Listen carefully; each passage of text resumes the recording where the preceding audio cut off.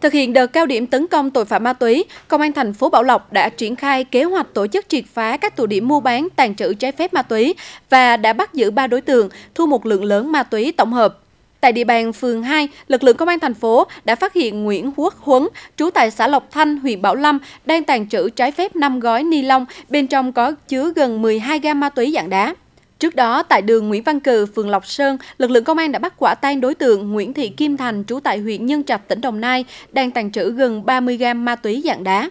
Ngoài ma túy, lực lượng công an còn thu tan vật là một cân tiểu ly, 8 triệu 200 ngàn đồng và hai điện thoại di động.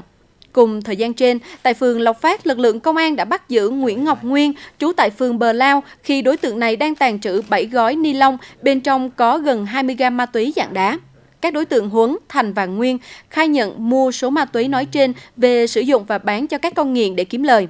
Công an thành phố Bảo Lộc đã khởi tố vụ án, khởi tố các bị can để điều tra.